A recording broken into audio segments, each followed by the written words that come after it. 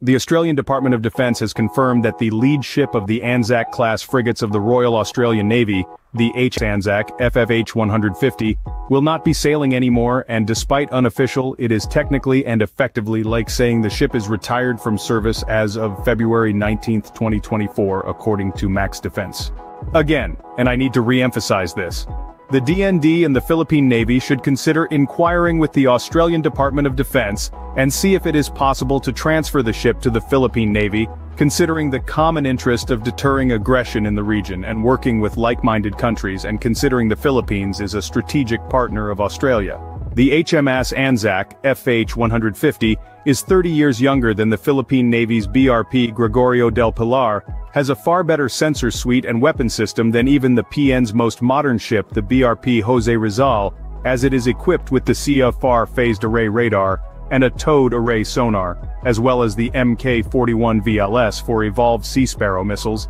and is far better and larger than any existing or upcoming warship of the Philippine Navy, despite its age of 28 years. The Anzac class are younger and more capable than the Pohang-class corvettes that the Philippine Navy is pursuing from South Korea, and uses diesel engines through Codog propulsion layout which the Philippine Navy can be happy with. I hope this time the Philippines will not let another good opportunity from Australia to pass again, like when it let the Adelaide-class frigates go to Chile. Remember, knowledge is power.